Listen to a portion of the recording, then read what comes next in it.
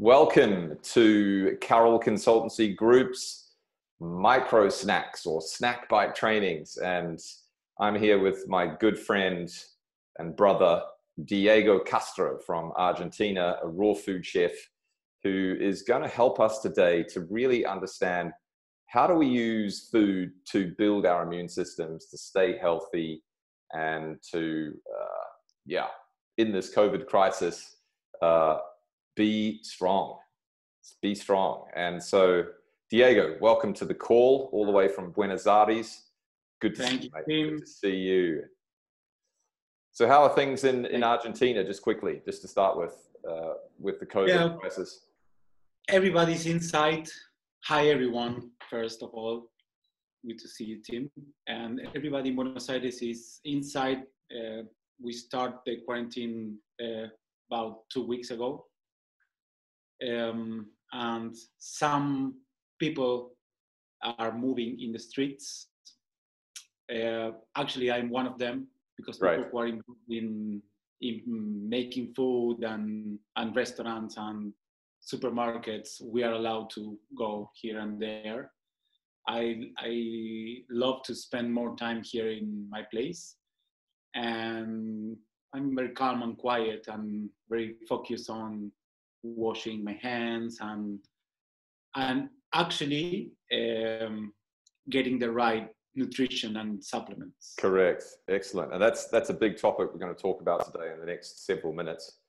Um, I've noticed for sure that when I go grocery shopping in the Bahamas here, people are really diving into the live food. You know, the food that is full of enzymes and full of health and uh, nutrition. And you know, people are definitely doing that to build their immune systems here. So, what I'd love to get from you today is some tips on um, you know, for our listeners, how can we really build our immune system? What what is the best foods that we can start to put into our fridge? And even now, there's a huge uh, movement in regards to people growing their own vegetables and and uh, nutrition at home.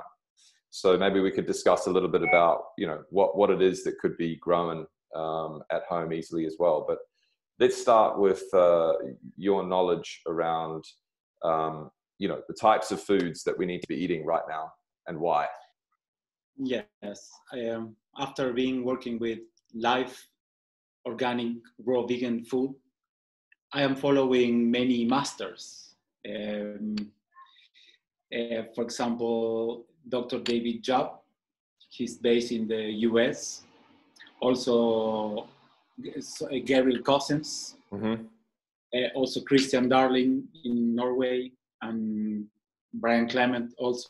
And um, everyone is um, talking about first thing organic nutrition perfect that is one of the main important things that we should achieve like organic with no chemicals no poison no nothing just organic clean food there we can find our best nutrition based on high quality minerals and vitamins.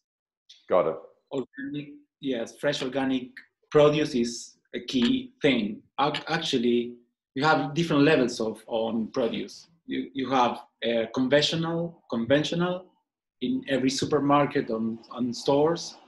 Then on top of it, organic food, which is plenty of good quality minerals and vitamins and enzymes and everything. Then um, the wild food is on, on top of everything right because wild is the, uh, the highest in minerals and vitamins. Also, biodynamic is very good. If you have the um, chance to grow your own food, is is very important because it's uh, less expensive Mhm. and you know exactly what is good and in what season and where and how to grow it. Um, other thing I consider very important is the supplements in this um, time uh, to build up the immune system. That's uh, one of my goals. Vitamin C is, I think, is the number one vitamin in this moment.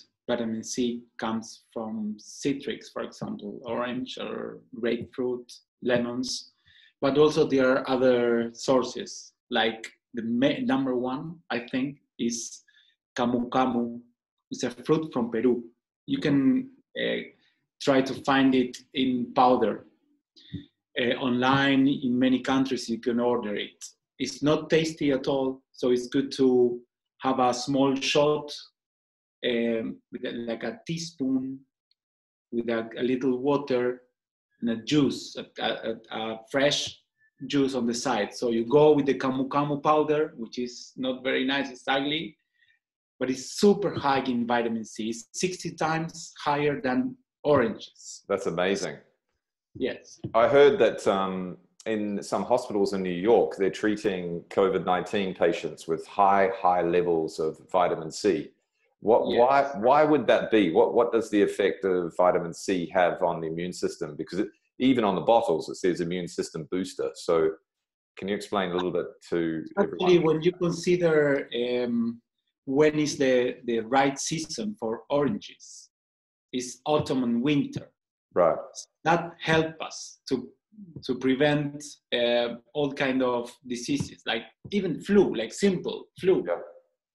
No, like typical. The thing is, you can you can get um, vitamin C in natural forms by having those citrus or camu camu or acerola or acai. They're fruits from uh, the Amazon. Yeah. Mainly.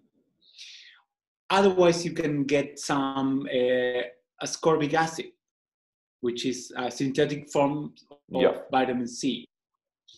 Uh, in this time of the um, in the year, we are actually in in season for oranges. It's uh, autumn here in Buenos Aires. In in the north, it's getting the opposite, of course. Yes, springtime. Uh, anyway, in this time, um, I, I, was following recommendation from uh, Dr. Gabriel Cousens how to build up the immune system. It's not just vitamin C. It's a another vi- vitamins that work together with vitamin C. For example, vitamin um, D that comes from in the from the, from sun, the sun, or yeah. or supplements. No, like for example, I don't want to show brands, but that this is a yeah. Uh, also, some food that has uh, Mm, vitamin D is very hard to find it in nature, but mushrooms has a vitamin D. If you have fresh mushrooms, you can place it in direct sunlight for about five minutes and it grows the vitamin C, develops, goes wow. higher. Incredible.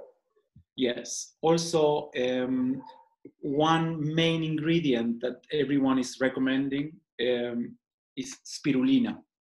Okay. Spirulina works really good with vitamin C because vitamin C helps to absorb and uh, the iron. So yeah. they, they really well together.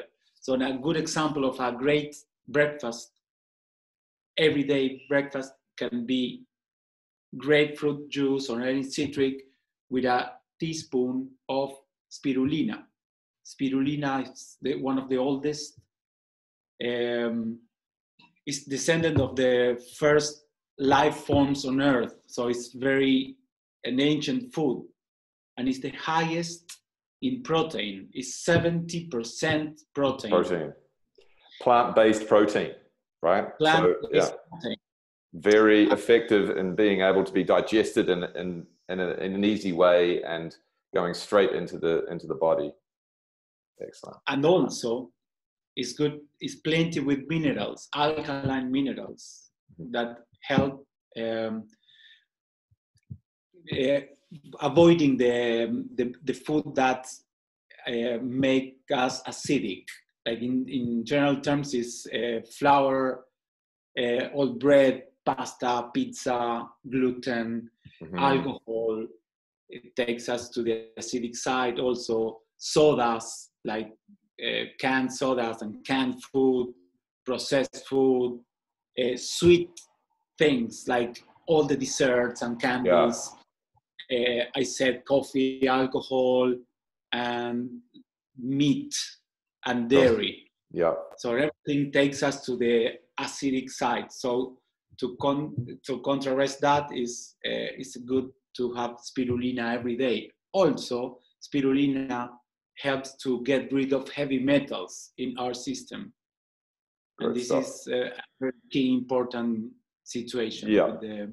So for, for our um, our viewers, um, then just quickly, what what would you say then is the most essential foods for them to have in their fridge or in their pantry or in their house um, during this this uh, time that they're home?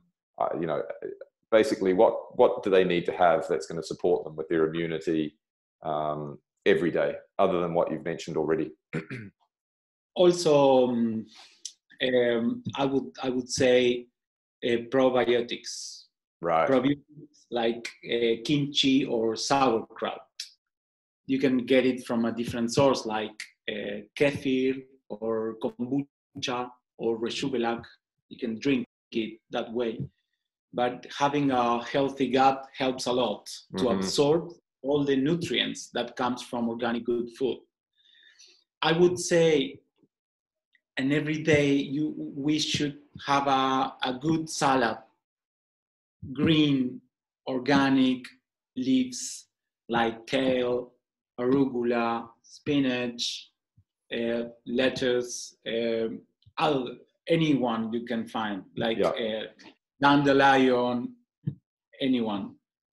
Also with some um, good forms of healthy uh, uh, fatty acid, like good good fat, like avocados, or even uh, tahini or butter butters like almond butter or staying away from dairy. Yeah. Yes, I would say. Right. Uh, and also, food, I would like to say that we should have in our fridge or freezer uh, some uh, frozen fruit to make smoothies. Like, for instance, in my fridge, in my freezer, I have peeled bananas mm-hmm. and different types of organic uh, berries, like blackberries, uh, blueberries, and, and raspberries. So I, just by using those fruits, I can make a good smoothie and I can add these good superfoods that we need in these times. Like, for example, spirulina, uh, also maca, turmeric, all kind of different supplements. I have a lot of uh, here around, but it's a good way to incorporate those uh, supplements by having smoothies also by having smoothies we are not wasting our energy to digest the food because that, this is one of the main things about live raw living foods mm-hmm. is we are not using our digestive enzymes in our pancreas to digest the food we eat do you, do you, do you know how do you feel after having a barbecue like a big steak if you have to go for a run it's not a good idea Got it. Because the energy is focused on digesting what we eat. So by having smoothies with supplements like spirulina and others, our body absorbs straight away, straight away all the nutrients, and we are not wasting energy on on trying to get some nutrients for the food, like this good quality food, just by adding just a little, like one cup of water mineral, the best water you can, plus handful of berries, frozen berries, uh, one peeled organic banana, and then it's good to have other supplements like barley grass powder or white blueberry powder, and it's, that's the right time to add in the blender and have a good smoothie. Brilliant.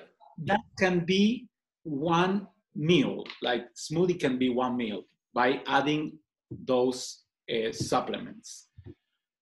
I would like to say like uh, we don't need to forget about other um, ingredients like colloidal uh, silver or echinacea in this time to yeah. avoid the, yes the virus the virus also following Dr. Gabriel Cousens' recommendation, I'm I'm getting few drops a day of monatomic iodine. Yeah.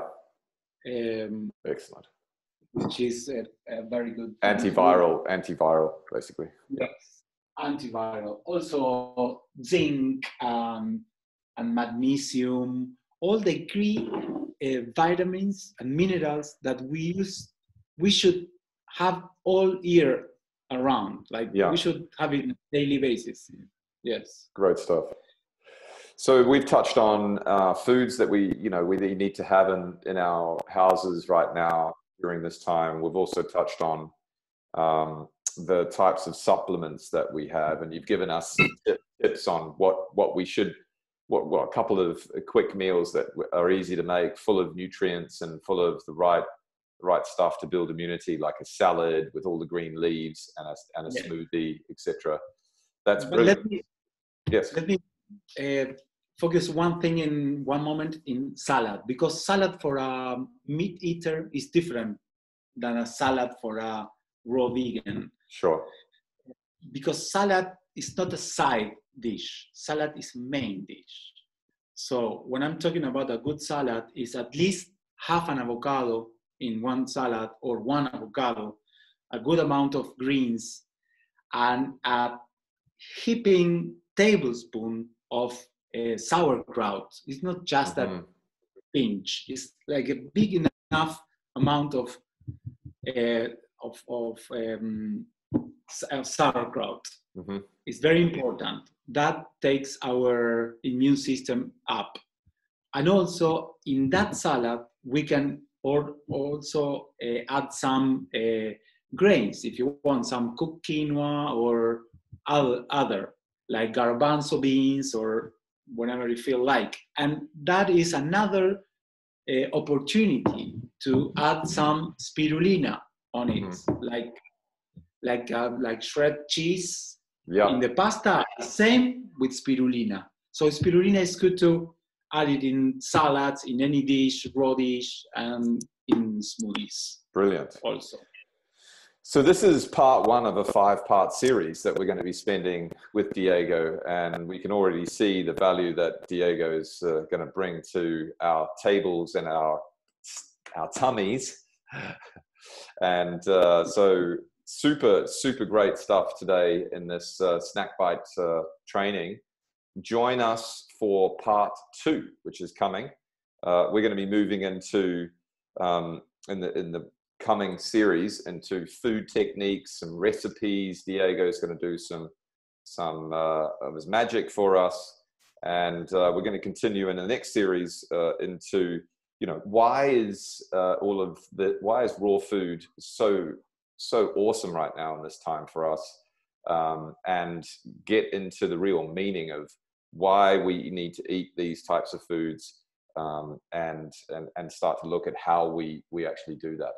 So thank you for tuning in with us. Thank you, Diego. Thank you, Tim. We move, into, we move into the next session very soon. Talk to you soon. Bye for now.